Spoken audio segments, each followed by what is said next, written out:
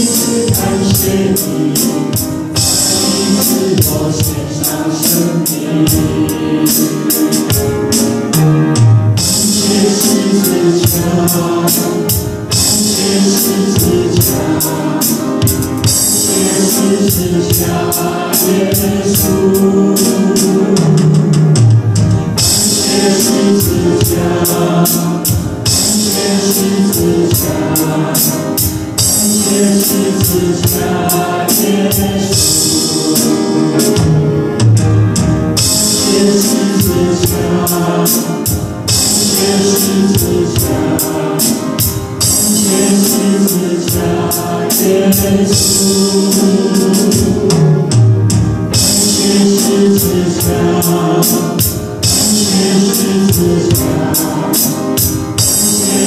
师强，感谢耶稣。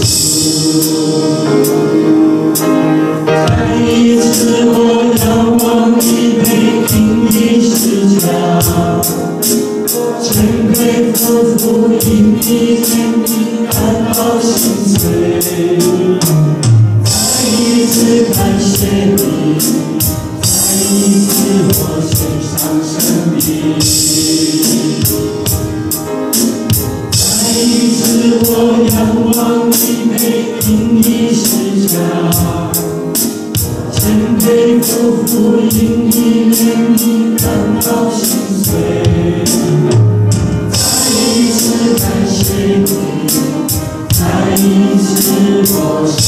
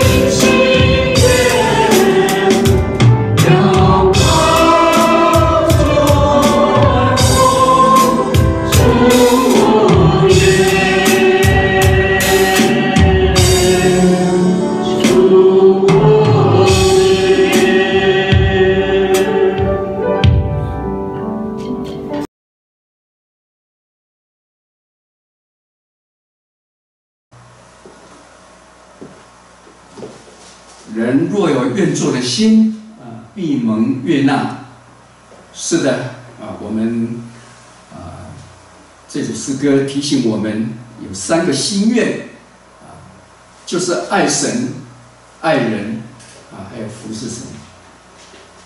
好，我今天要跟各位一起来分享一节经文，啊，大家非常熟悉的。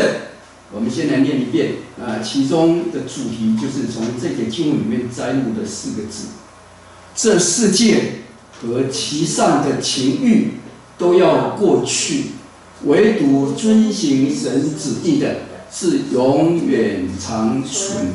好的，啊，今天啊要跟各位啊一起来讨论的题目就是都要过去这四个字。我不晓得当你看到啊这个题目的时候，你是感到高兴，还是感到忧伤、难过？我相信有人会高兴，啊，有的人会难过。啊，有一个故事，也是一个寓言，说有一个国王，他就想要找一句话，然后说这句话。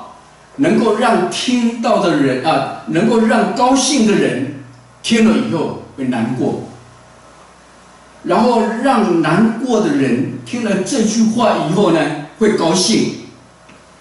那国王找了很长的时间都没有找到这句话。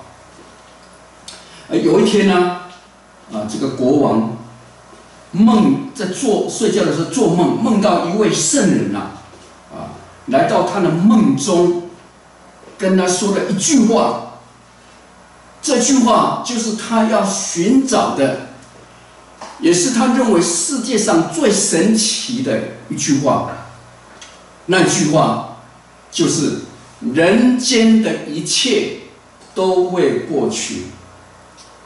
这就是今天我们的主题啊，都要过去。其实这个国王啊，他不需要到处找，他回到圣经里面就可以找到啊这句话。啊，在圣经里面啊，常常比喻我们人生非常的短暂。啊，在诗篇里面用花草露水来比喻。那么在雅各书里面呢，也用天上的浮云。啊，云雾来比喻我们人生的短暂。这个世界都要过去，这个“过去”这个字的意思就是说要消逝。在希腊原文的含义就是说正在消逝的过程当中，所以呢，这世界。都要过去，在原文里，如果直译的直接翻译的话，就是说这世界和他的情欲是正在过去、正在消逝的过程当中。也就是说，我们今天所看到的一切，啊，有一天都会过去。所以今天的世界其实呢，正在消逝的过程。之中，我们生活的这个世界啊，所有的事情，日光之下所有的事情啊，都是暂时的。我们周边的事物啊，都是要朽坏的啊，都必死的，都有终了的。所以在生活当中，我们啊，不用。过分的啊担心、忧虑，也不需要过度的啊狂喜，因为我们目前不管情况怎么样啊，不久我们都要过去，所以今天的荣美也是暂时的，今天的悲伤也是要过去的我相信在。生活当中，我们都有这种感受，都要过去的这种经历。我们都年轻过，我想想看啊，当你高中要毕业的时候啊，我们彼此道别的时候，我们都会说，我们会再次的相聚。可是因为某些原因，我相信。高中毕业以后，你就再从来也没有跟你的同学见过面，也就是说，从没有相聚过，所以就消失的无影无踪。同样这样的事情在大学毕业的时候还是会重演。啊，记得我们在大学毕业的时候呢，大家互道再见，然后就说我们要保持联系，啊，要保持联系。但事实上并非如愿，因为每一个人啊都会面临不可预知的因素，而不再不再相聚啊婚礼啊，所以就带来内心的啊遗憾。为什么呢？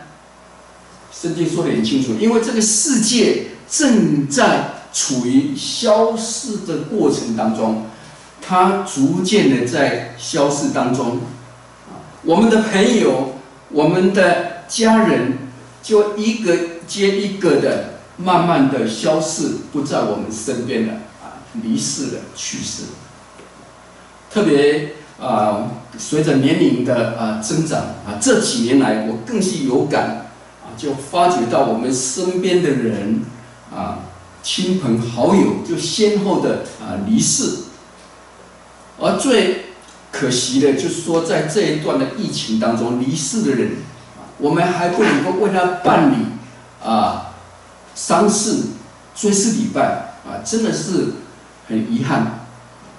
不管怎么样，最后总有一天，我、你啊也要离开这个人世间，只是先后而已。所以呢，啊，我们也不需要太羡慕那些名人啊，那些明星啊，啊，他们跟我们一样，有一天也是要消失于这个世界上，包括艺人、明星、政治家、学者、企业家、作家，甚至于那些公众人物或者其他有影响力的人。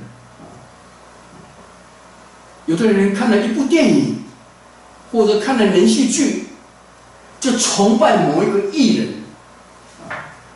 有的人只是觉得这个艺人啊，长得还不错，长得很好，就崇拜他。有的人看到企业家、政治人物，他们叱咤风云啊，就去崇拜。其实世界上没有不朽的伟人，总要尘归尘，土归土。圣经讲，圣经说啊，《创世纪》圣经第三章说，我们是出于尘土，所以呢还要归回啊尘土。今天很多人盲目的崇拜名人啊。这是一种崇拜的心理在作祟！我们崇拜那些体育的明星，或是娱乐界的那些名人啊，有时候要劝他啊信主啊，真的是很难。但是有一天，一个明星，一个你崇拜的人，他信了主，哇，你也跟着信主。但是我在怀疑，你这个信心是建立在人的身上，还是你的基础是建立在主耶稣基督的啊磐石上？你是一个人来信主的，所以你的信心不是在建立在耶稣基督的身上。当患难临到、考验临到的时候，你的信心肯定是站立不稳的。很多人对这明星、名人、娱乐界的体育明星的名的名字呢背诵如流，啊，可是问他十二个使徒是谁，十二个门徒是谁，一个也答不出来。如果是做个基督徒也是如此，想一想是不是很可悲？我们做个基督徒，唯一我们应该是熟悉神的话语。为什么我们会深陷在世界上的事情上？这世界和其上的情欲都要过去，唯独遵行神旨意的是永远长存。我们知道这个疫情真的是很难受啊，让整个世界都停顿但是神的话语说，也是要告诉我们，安慰我们，这些都要过去的啊，都要过去的。这世界上和其上一切都要过去。当这个世界都过去以后呢，啊，这些事情都过去以后，那时候你念哪一个大学，你得过什么奖，便无关紧要。无论你赚了多少钱，也不会变得一文不值。无论你获得多么大的成功，你也你也会变得毫无意义。为什么？因为一切都过去了，没有一件事情真的会有什么永恒的意义。因为这保罗在哥林多前书第七章三十一节他说：“因为这世界的样子将要过去。”他说：“爱哭的要像不爱哭，快乐的不呃要像不快乐，自买的要像无有所得。”用事物的要像不用事物，为什么？因为这世界的样子将要过去。我们的生命是什么？我们的生命原来是一片云雾，出现少时就不见了。雅各书第四章十四节提醒我们，也就是说，一切终将过去。都会过去，这是真理。你今天所拥有的，你今天所拥有的名声、地位、钱财，都不是永恒不变的。当你拥有的时候，你不要得意忘形，因为一切都要过去。今天的欢笑会过去。今天的悲伤也会过去，再好吃的东西也会过去。为什么？因为有一天你吃不下了，你没办法吃了，咬不动了。那不好吃的东西，当然也会过去。你这个人如胶似漆的爱情会过去。那么冷淡无情的感情同样也会过去，辉煌的成就会过去，失败的境遇也会过去，再多的资产会过去，如山的负债也会过去。听到这里，人很高兴，负债的人总会过去，但是不要再有子孙就是了。再多的金山银山也会过去，一贫如洗也会过去。你健康如牛的身体也会过去，你软弱如虾，我们常常说软脚虾了哈。你软弱如虾的病体呢，也会过去。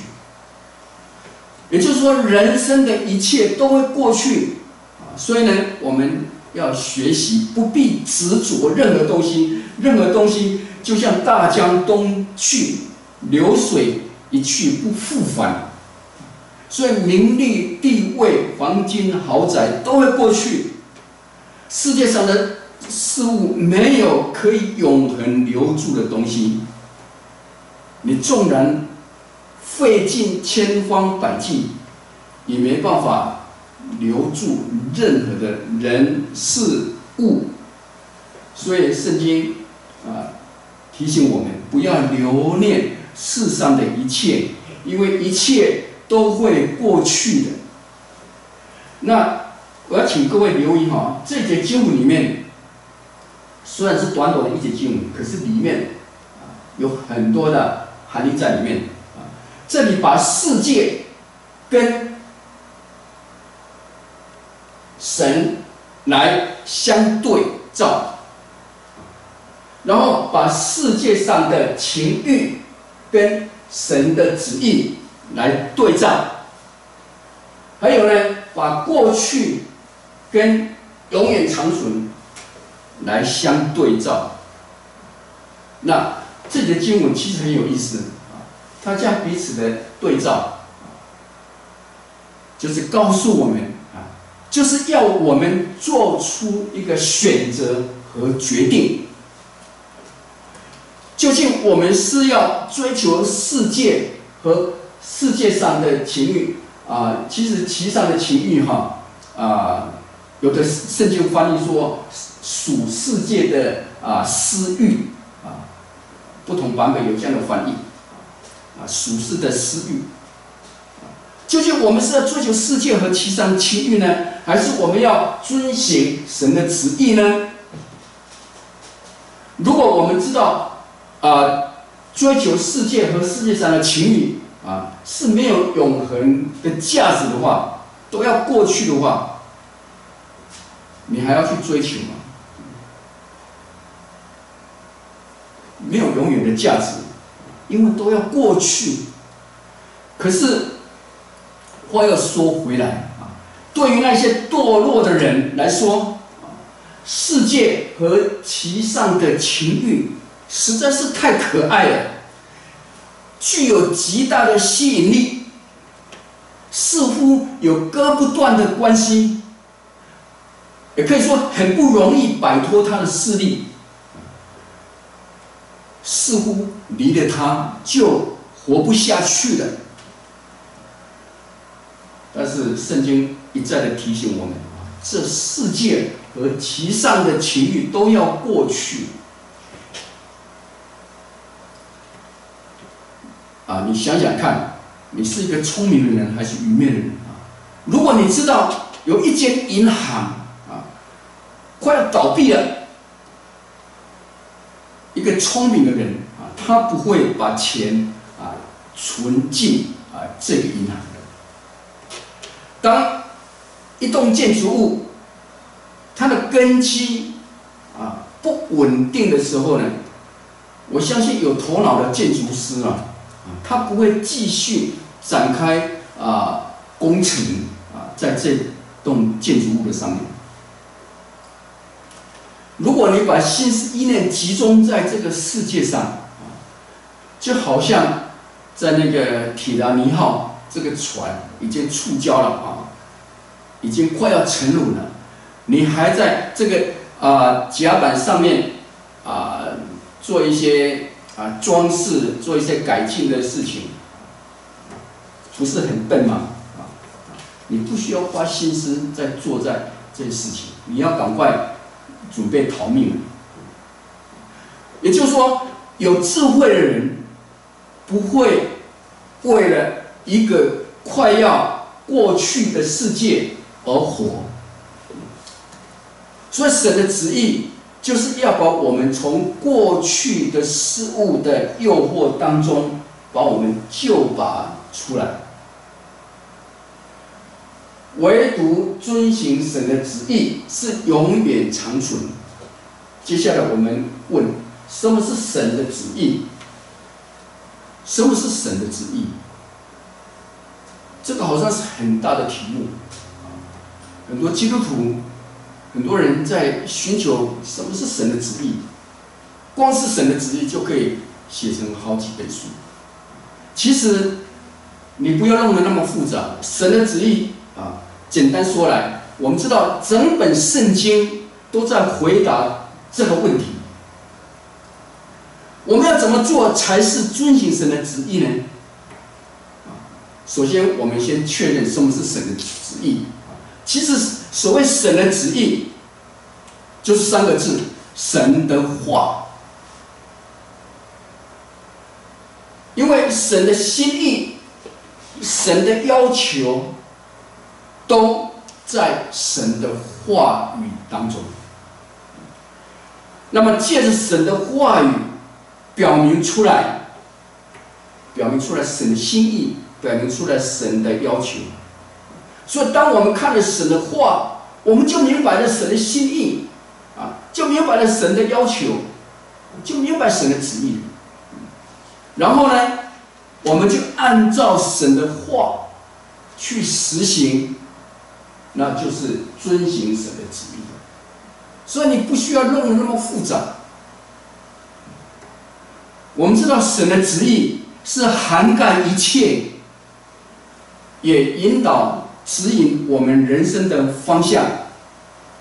所以呢，我们做个基督徒，我们的行事为人的目标啊，就是完全按照神的话去行，按照神的话而做并在生活当中不断的回应啊神的旨意。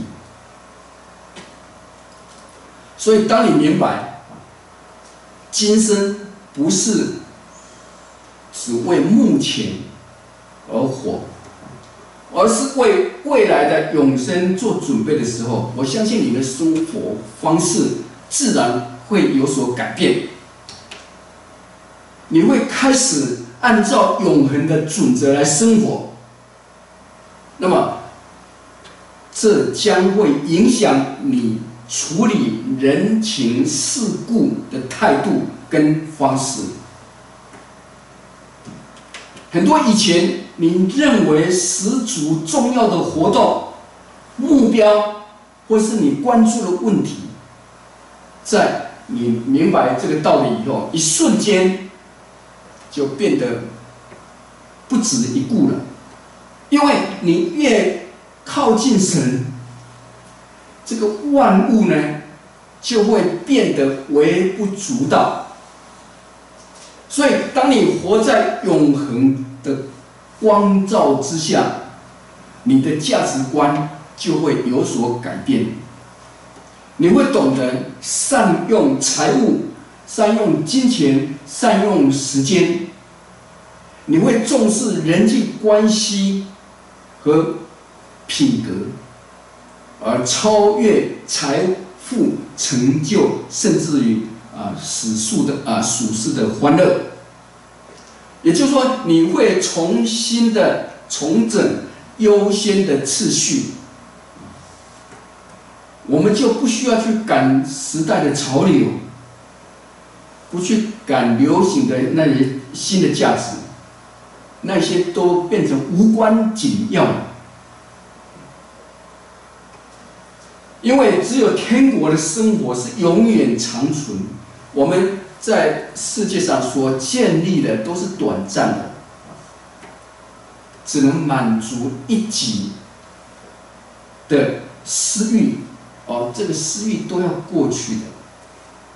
同样的，当你作为一家之主，作为啊家长，作为父母的啊，你有没有想过，你所做的一切，所安排的一切啊？你为家人所做的，是不是朝着这个目标、永恒的目标来计划、来设计？还只是还还还是你只是满足你啊属世的一个私欲的需要来安排？我相信是有值得我们商榷的地方，有可能。因为当一个人他真正遵循神的旨意的时候啊，他就可以放下内心所有的那些渴求、渴慕。也就是说，我们做个信徒啊，不应该为这个将要过去的世界、将要过去的事物花费太多的精神、体力和时间。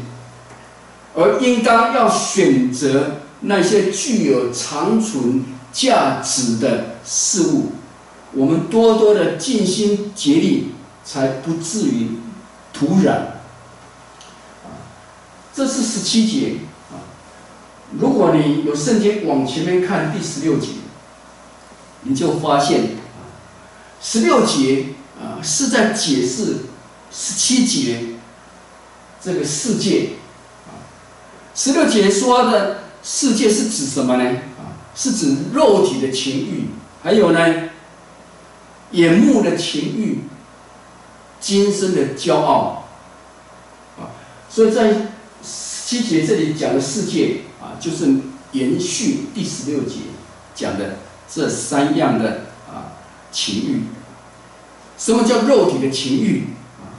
就是说我们身体所需要的，然后引发出来的欲望，这个就是肉体的情欲。但是，特别是指啊超越正常需要的那个邪情私欲。是圣经所禁止的肉体的情欲，然后眼目的情欲是什么呢？眼目的情欲是由眼目看见而引发出来的欲望，但是圣经也是特别指超越过度的限度的这个恶的私欲，我看到什么就想要什么啊。看到什么就想要什么，这是眼目的情欲。那么今生的骄傲呢？是指世俗的虚荣，啊，包括对地位、名誉、财物等等的追求，或者你已经得到了，以这个为荣耀，来炫耀。这就是一种今生的骄傲，也就是说，自我的夸耀。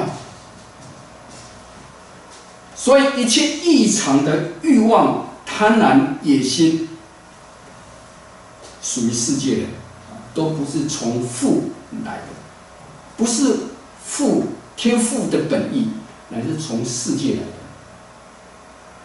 或许有人要问：我们人生？在世只有几十年，忙忙碌碌的，忙忙碌碌的，要承担无数的责任，要应付数不尽的难处。很多人为求三餐都不饱，三餐温饱都求不得的，都不容易的。又为什么要追求那遥遥远的啊看不见的永恒呢？也就是说，现实的生活都已难，都难以应付了，又何必想的那么远？OK，就是因为这样的思想，使得今天许多世界上的人不愿意考虑个人的救恩、灵魂的归宿的问题。也正是因为这样的态度。使得许多基督徒不关心自己属灵的追求和永恒人生的目标。所以，当我们在说要追求永恒的时候，啊，并不表示我们不需要为今世今生的生活做安排，乃是要将我们的目标啊放在永恒里。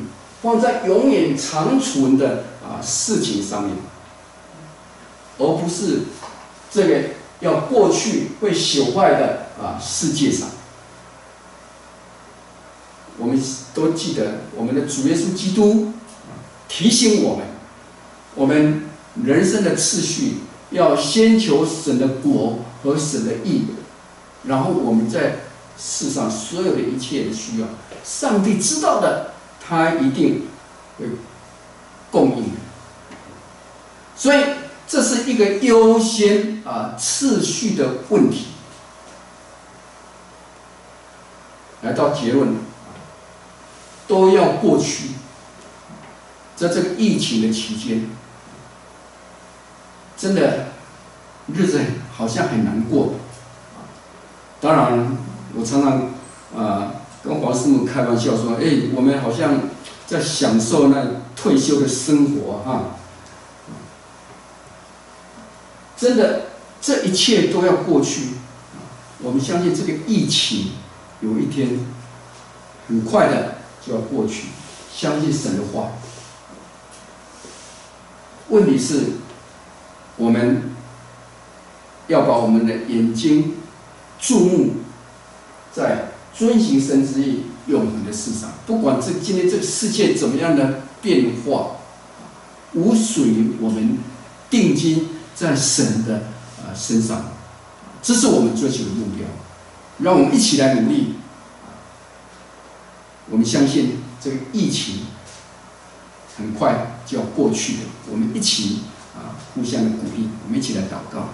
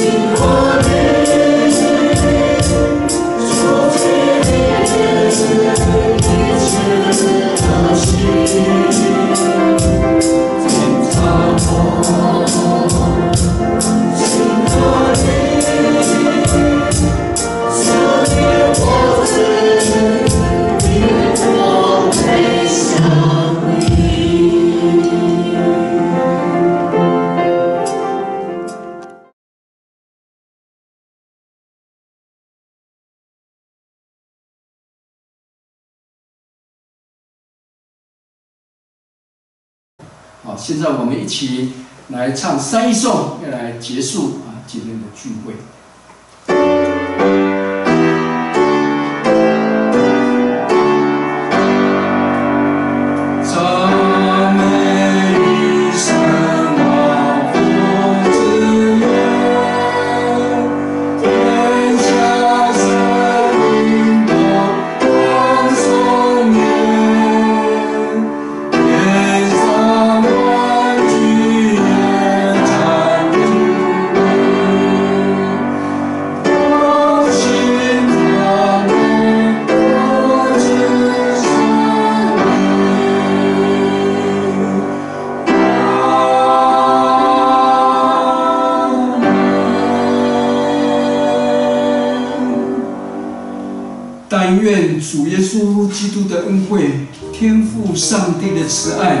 圣灵的感动交通，常与亲爱的弟兄姐妹们同在，从今直到永永远远。